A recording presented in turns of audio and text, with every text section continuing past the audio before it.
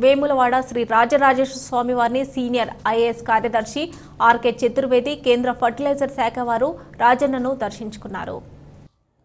అనంతరం వారికి అర్చకులు పూర్ణకుంభంతో స్వాగతం పలికి మండపంలో కండువాల లడ్డూలతో ఆశీర్వచనాలు చేశారు. వారి వెంట ఏఈఓ బ్రహ్మన్న గారి శ్రీనివాస్ పర్యవేక్షకులు సిరిగిరి శ్రీరాములు గోలి శ్రీనివాస్ రాజశేఖర్ టెంపుల్ పర్యవేక్షకులు రికార్డు అసిస్టెంట్ పోసాని రాజ్ కుమార్ ఉన్నారు.